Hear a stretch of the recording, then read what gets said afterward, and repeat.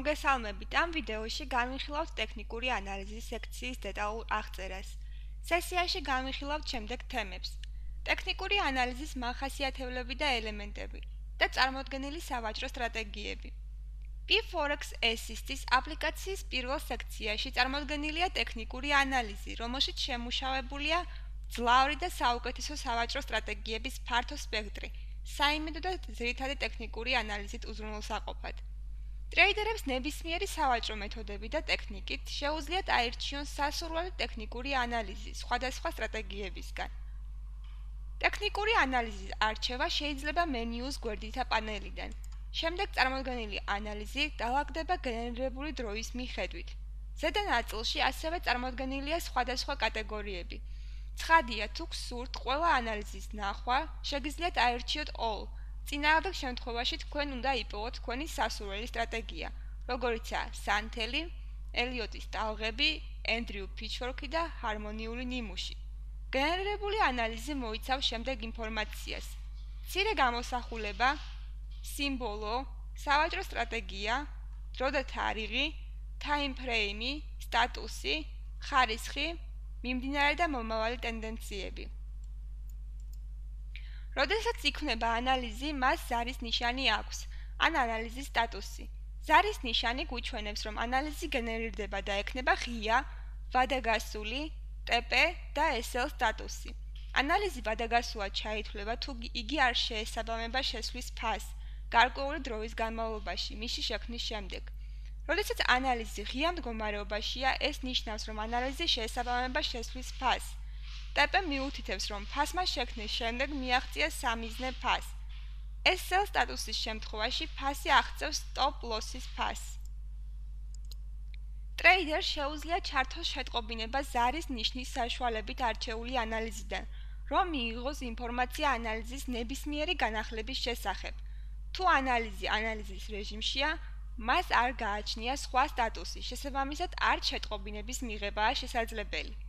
ფინანსურ ბაზარზე სიმბოლოების ფართო სპექტრია წარმოდგენილი. ტრეიდერებს შეუძლიათ აირჩიონ სასურველი სიმბოლოების დიდი რაოდენობა P4X-ის წევრობის გეგმის საფუძველზე, გენერირებული სიგნალის და ანალიზის მისაღებად. სიმბოლოების არჩევა შეიძლება პარამეტრების სექციაში ორი გზით: შეტყობინება და ჩვენება. შეტყობინება განსაზღვრავს მიღებულ გაფრთხილებას გარკვეულ სიმბოლოზე ან სტრატეგიაზე. ტრენდი გვიჩვენებს მიმდინარე მიმართულებას, სანამ სიგნალი მიუთითებს მოსალოდნელ მიმართულებაზე. ხარისხი გვიჩვენებს ანალიზის ძალას, სტრატეგიების და ნიმუშების პირობების საფუძველზე. თითოეული კატეგორია შეიცავს სხვადასხვა კატეგორიას. სანთლის ნიმუშები. სანთელი შეიცავს სხვადასხვა ნიმუშებს შემდეგი სახით: მუქი ღრუბელი, ჩაკუჩი, გამშვალავი სანთელი, მოწყვეტილი ვარსკვლავი, პინცეტი. სანთლის ნიმუშებზე დამატებითი ინფორმაციის და აღწერის მისაღებად ჩვენ სასწავლო სექციაში შეგიძლიათ სანთლის კურსების შესწავლა. კლასიკური გრაფიკული ნიმუში.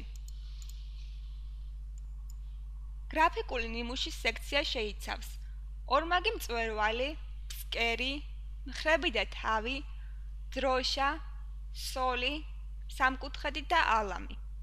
ელიოტის ტალღები.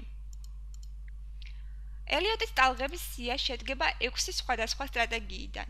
ელიოტის ტალღები, MACD, RSI, სტოქასტიკური სანთლის ნიმუშები. ესენი შემდეგია: ელიოტის ტალღები, MACD ფაზა, ელიოტის ტალღები, MACD ხაზები, ელიოტის ტალღები, RSI, ელიოტის ტალღები, სტოქასტიკი, ელიოტის ტალღები, გარდამტეხი წერტილი, ელიოტის ტალღები, სანთლის ნიმუშები. Andrew Pitchfork ენდრიუ ფიჩორგის ანალიზი ეფუძნება 4 სხვადასხვა სტრატეგიას: ტრიგერული ხაზი, რევერსიული ხაზი, განგრძობითი ხაზი, საშუალო ხაზი. ჰარმონიული ნიმუშები.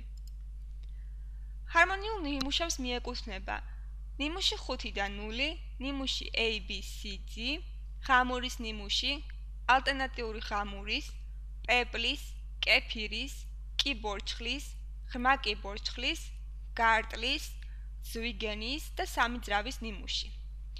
დივერგენციის სტრატეგია გვიჩვენებს განსხვავებას ან კონვერგენციას ფასების ტრენდში, ინდიკატორების და ოსცილატორების დახმარებით. როგორიცაა RSI, სტოქასტიკური და გასაოცარი ოსცილატორი. დამატებითი ინფორმაციის მისაღებად შეგიძლიათ გაეცნოთ სასწავლო მასალების სექციას და მიიღოთ მეტი ინფორმაცია დივერგენციის შესახებ. ახლა მოდით შევამოწმოთ გენერირებული ანალიზი როგორც მაგალითი. თავდაპირველად ჩამოყალიბებული სტრატეგიის გამოსახულება სასარგებლო ინფორმაციით ნაჩვენებია მარჯვენა ზედა მხარეს. ამის შემდეგ აღინიშნება სტრატეგიის ტიპი, დროისა და თარიღის მითითებით. მითითებული ასევე სიმბოლო, ტრენდი, ტრენდის მიმართულება, შესვლის და გასვლის ფასები. ამ ანალიზის სიძლიერე და შემდეგსრული აღწერა, რომელსაც შეიძლება უკეთესად გაეცნოთ, აჩვენებს თუ როგორ იქნება ეს სტრატეგია ნულიდან. ძირითადი პუნქტები მიუთითებს ყველაზე მნიშვნელოვან ადგილებზე, რომლებიც ტრეიდერებმა უნდა გაითვალისწინონ. შენიშვნები და სპეციფიკაციის ცხრილი წარმოადგენს მოკლე ინფორმაციას ამ ანალიზის შესახებ. შევაჯამოთ სესია. სესიაში განვიხილეთ დეტალური ინფორმაცია ტექნიკური ანალიზის სექციის შესახებ. შემუშავებული სტრატეგიები გენერირებული ანალიზისთვის და ტექნიკური ანალიზის კომპონენტები და ელემენტები. ამით ვასრულებთ მიმდინარე სესიას მომავალ შეხვედრამდე.